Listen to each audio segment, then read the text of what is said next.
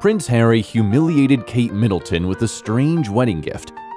It is common knowledge that the disgraced prince and Kate Middleton had a strong friendship in the past. The Duchess has always tried to be a peacemaker in the relationships between the two brothers.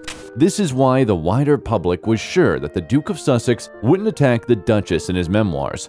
The public condemned his accusations towards his brother's wife out of a desire to earn a huge payout from the publisher. The scandalous prince didn't hesitate to talk about the controversial gift he gave her for their wedding. Harry presented Kate with a small ermine fur thong. Perhaps he expected the townsfolk to appreciate his humor. However, the publication was followed by a rush of indignation toward the Duke of Sussex. Readers simply did not understand why the disgraced prince talked about this particular situation. Do you think it was a witty gift?